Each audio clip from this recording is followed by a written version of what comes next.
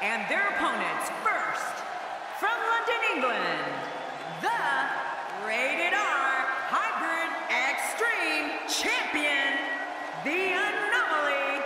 Well, you can tell it's going to be all business tonight. Wouldn't have it any other way. All four competitors in the ring at the same time. You bet this match is going to be pure mayhem.